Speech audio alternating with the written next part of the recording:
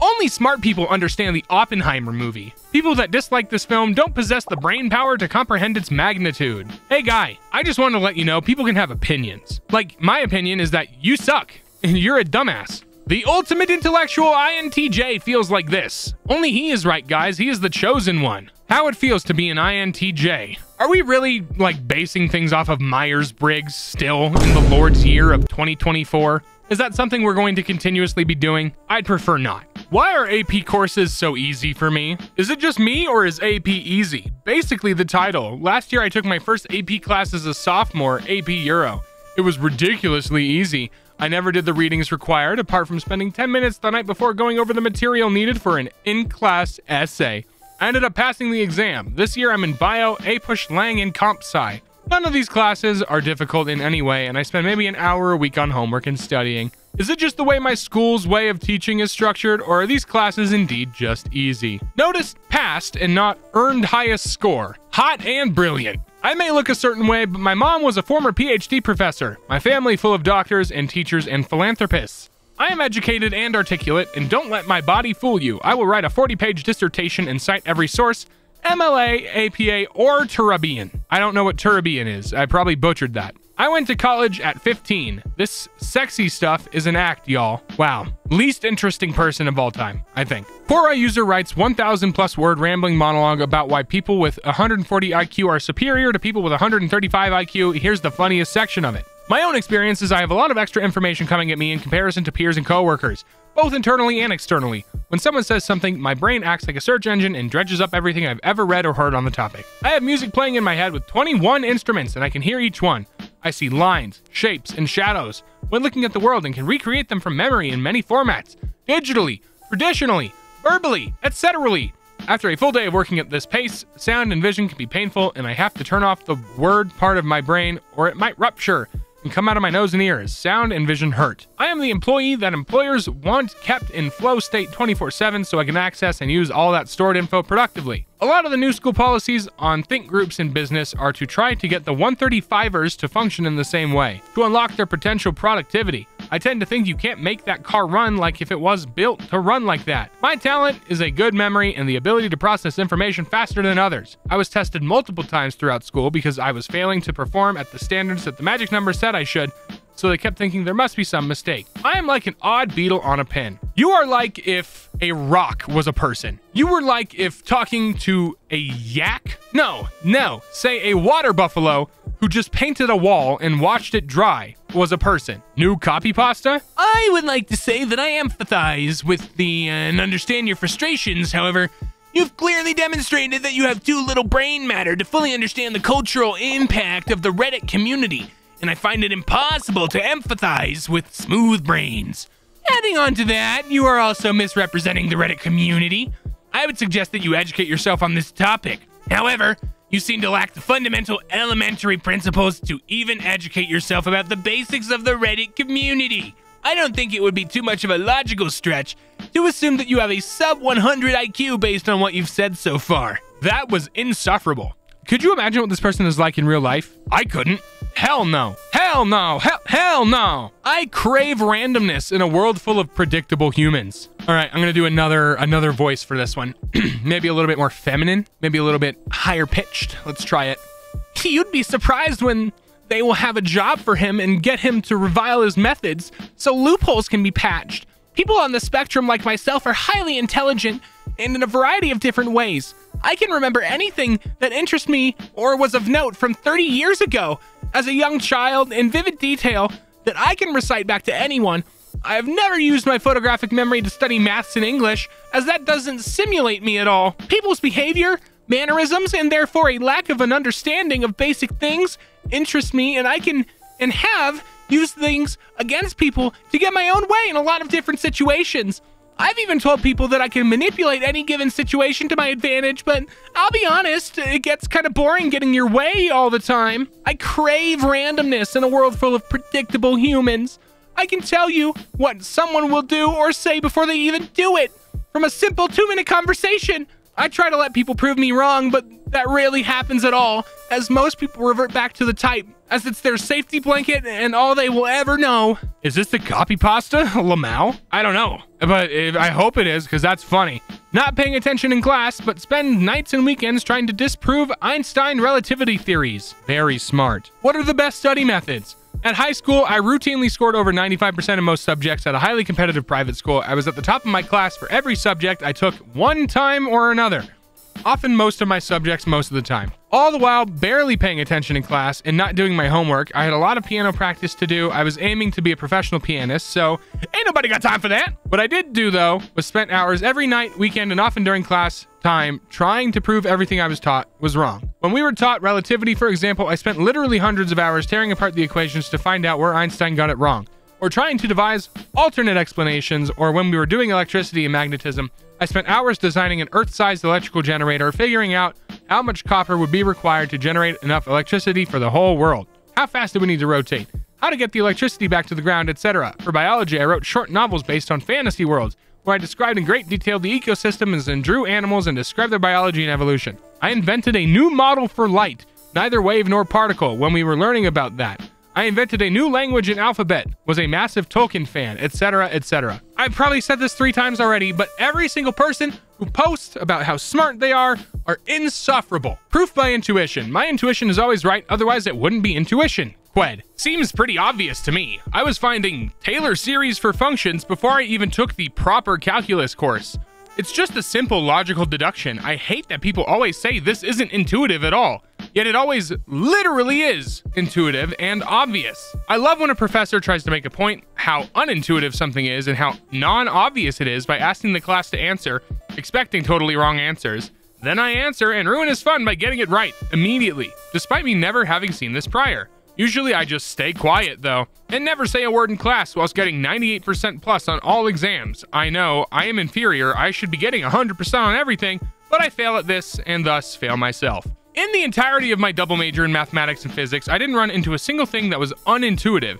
My intuition is always right. If this wasn't the case, then it wouldn't be intuition. This is a non rigorous proof that most mathematicians don't understand what intuition is. Fourier transforms and Fourier series are not more advanced, it is literally just calculus 1 material. I went to college thinking I would be around smart people. Turns out I was the only one that self taught myself calculus before taking the course, and everyone else was an absolute oaf that struggled.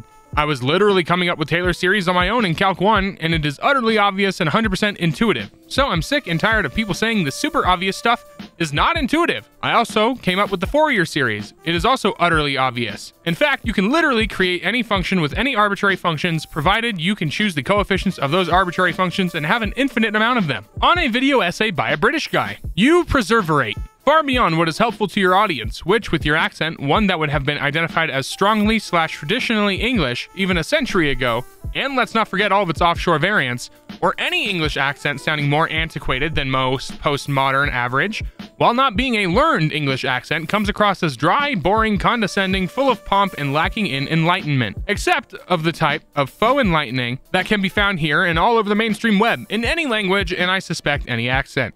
The only real difference between hearing it in this language, English, and with your accent is that no matter how proper you speak, or what words you do speak properly, your focus on speech over substance is merely trading the listener's journey towards true education for instead a hopeless quest of understanding. In time, they will see it for what it is, which is that they are or have been listening to a cheap auditory ear massaging that lacked the substance of thought and depth of personal advancement expected prior to engaging in such a journey, and has rather their time and even money wasted, coupled with a vast feeling of usury and crushing insult, knowing that they, the consumer, has been drained deeply of their precious time, and then what remains wholly wasted by the snake oil salesman who deals in childish linguistics, his appearance then becomes the likes of which not Shakespeare himself would see fit for a good mocking. Are you real? That's what I'm saying. Are, are these people real? Or are these just like chat GPT chatbots? Just making up. I found the final boss. A guy who once randomly friend requested me on Facebook. Oh my god, long ass sentence. Okay.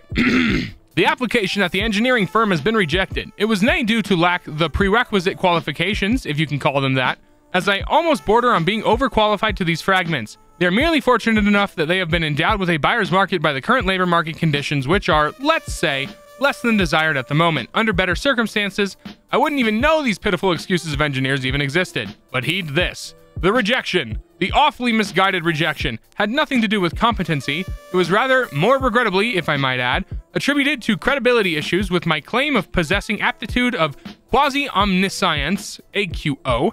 Now, if I only had a penny, I'd have to take liberties when the occasion calls for you describing my faculties. And it's not only the faculties themselves, mind you, in addition to said faculties, there are compounding complexities of heteronormatic frameworks. These are cognitive systems which interpenetrate a multitude of ontological realms, which all breathe life into the very milieu that is my dear AQO. One is, of course, meat space. The other, well, that assumes a lot of prior knowledge of the metaphysics. Hint Plato's analogy of the sun is a good endpoint, but begin with the cave. What the fuck are you talking about? So, what is it to be expected, dear reader? How do I characterize these interlacing labyrinths of intellectual hardware and software to the intellectually average? Well, you don't. I might as well be stuttering a defunct indigenous language of the Brazilian rainforest, Google translated to Klingon after a stroke. Thus, for the sake of succinctities, but more importantly, and quite frankly, or selflessly, Never said I don't care about people. Being fathomable to the common man, it's not in my interest to perplex, never was. I have to resort to similes, which populate the pool of fodder for the two greater analogies, and from there, the allegory is conceived, there is nothing more beautiful. Now, you might ask, what could this possibly be? It's a library. No, the, the library. While these underlying mechanisms of intricate cognigating processes work on the magic behind the scenes of a library materializes in the front of my eyes. And it might as well be as vivid as my keyboard is at this very moment, just like how Jesus imbued his teachings through parables. I go to a library to acquire knowledge no mortal could possibly know. An adequate comparison, if I say so myself. This subreddit pisses me off so bad, mostly because I don't know what half of these words mean. His IQ is over 140 and he is a physics major. Number one, if anyone in the convo is stupid, it's you, not me. I'm a physics major and 140 plus IQ. Number two, you look almost as white as me, meaning you barely have any Aztec DNA. Number three, there is scant to no evidence of having any accurate or developed science, medicine, or math whatsoever. If you claim otherwise, you're lying to feed some personal bias towards equality that you have. Shut up, white boy. I would doubt my memory too if I was this person, not gonna lie. It's very hard for people to doubt their own vivid memory. I have took the following approach to my own memory when I was about 19 years old, and once again, foolishly followed my hopes of developing a pedagogy. I don't know what that word means that doesn't waste as much time from the children as the current one. In this ever changing world, memories are overrated. You might remember how your demolished childhood home was, but it's useless in a map for the present. You might remember your school friends that you're no longer in touch with, but they're probably different now. Embracing this relinquishing of memory improved my life because I began to realize that some problems arise because people can't understand what the world has changed and get stuck in their memories. While I'm always continuously scanning reality again and again to find current facts. How much storage space do I have? I wondered back then. I had no idea, but since it's limited, I've decided to use it for storing eternal truths, mathematics, and long lasting battle tested conjectures, physics and chemistry. This should have more than nine downvotes. This guy's a loser. Self proclaimed non normie. Being an introverted thinking dominant type is seriously one of the most painful things ever. I really can't stand other people. I honestly am flabbergasted at the irrationality and stupidity of normies that I witness every day. Now, being an ISTP, I am able to adapt well in the normie world and even come across as one of them. I'm in shape, dress well, I have an education, a job, decent social skills, and don't take things too seriously in situations with people to come across as more likable. I believe I am a healthy ISTP with mastery on my FE, etc. All things that normies say are good for you, even though they don't understand why. However, I cannot wrap my head at the lack of critical thought people put into decisions they make, why they think the way they do, why they have crazy opinions that they have, etc. It drives me crazy when, from my perspective, I'm the only one who's put any level of thought into anything. Okay, brother. Sure, I'll let you believe that. We'll, we'll all let you believe in your little non normie world. No one who uses the word normie is is uh not a normie. You know what I mean? Like if you call people normies, you're also a normie. You're you're weird. You're weirdo. This guy thinks he's above all other chess players. Oh my god, what is with this background? I don't even want to read this. I must express my disappointment with the chess puzzle in question. Despite its initial allure, it proved to be disappointingly facile. The queen's sacrifice is obvious. Lacking the intricate complexities and strategic depth that one would expect from a truly challenging puzzle, the under promotion was too in your face. Its predictability was apparent from the outset leaving no room for the nuanced decision making and creative maneuvers that make chess puzzles truly engaging. As an ardent chess enthusiast, I relish the opportunity to grapple with puzzles that demand a higher level of intellectual acumen. On this festive occasion of Christmas Eve, it would have been particularly delightful to encounter a puzzle that not only captured the spirit of the season, but also provided a stimulating mental workout. Alas, this puzzle has fallen short. requiring my constructive criticism. Now I must survive unreasonable downvotes from chess players who, while skilled, perhaps would only manage to stalemate me back when I was 12 and avoid overly censorious moderators. Who formats this picture like this and thinks, yeah, that's good? Poor you, you high IQ person. Will low slash average IQ people ever realize that a high IQ is not a fun thing to have? Oh, and then he deleted it, probably because he got bullied out of existence deservingly. I do not condone bullying in most senses. My favorite thing to do is bully self righteous people who think they are better than everyone else. Those people deserve to get bullied. This guy is putting himself forward as president of Iceland. Book overview. In a world where the unseen dictates the scene, this compelling narrative delves into the depths of social engineering and its occult underpinnings. Drawing from ancient manuscripts shrouded in mystery, it reveals a tapestry of hidden influences that have shaped history and continue to mold our present and future. The book meticulously unravels the complex interplay of mythological grandeur and futuristic technology, offering an unprecedented exploration of the power structures that govern societies from the shadows. It's a journey that takes the reader through the corridors of secret societies, unearthing their strategies of control and influence that transcend time and borders. Through a blend of mythical storytelling and factual analysis, the author skillfully navigates the murky waters of political manipulation, demonstrating how public perception is crafted and swayed by a few. With each chapter, the veil is lifted a little higher, exposing the intricate web of deceit and power play that lies beneath the surface of societal norms and conventions. This book is not just a recount of historical events, it is a revelation of the continuous struggle for power played out through the ages. It deciphers the enigmatic language of the ruling elites, unveiling their cryptic symbols and rituals. The narrative is woven with a sense of urgency and insight, urging the reader to look beyond the obvious and question the narratives fed by mainstream channels. A lot of big words for someone who maybe didn't even read the book. Who knows? In response to someone criticizing an AI generated image in a chess article, I don't think the point was to have an exact number of rows between the material. The wobbling bicycle was. I prefer a point made, evocated, explicited, than an obscured wall of exact truth I can't see. The reasoning or purpose towards something else. See, I even went from a punchline here to an unreadable, more nuanced statement via editing myself and self criticism or non exactitude with respect to my average thinking. Original statement was, I prefer a point made to a truth I can't see. Now compare the two. Yet, I think the improvement formula is a bit abrupt. But I guess there are concerns I do not share or understand about what those blog are doing on the front page of Lichess. Lichess. Lichess? I don't know. Best is to be chirurgical. Chirurgical. I don't know. Find the relevant and be generous to the less relevant pass if not obstructing the view too much. So thanks for bringing that point of not expecting chess learning is just a robotic application of some external, prefabricated complete knowledge that is required before doing anything or thinking anything. It is an element to consider in finally thinking about theories of learning in chess. Whether coming from a titled author or not, it can be chewed without having oneself a title as long as not arguing by title implicitly or not. Defending his position that he can't be racist on the internet because it's just pixels. I'm not racist. I'm intelligent. You're woke. There's a difference. This isn't a Twitch chat. This guy's got Twitch Prime. Speaking of, if you have Twitch Prime, go over to twitch.tv slash says Mason and go use your Prime. If you don't have it used already, of course. Selfless plug, shameless plug. Uh, you know, that's just kind of how I be.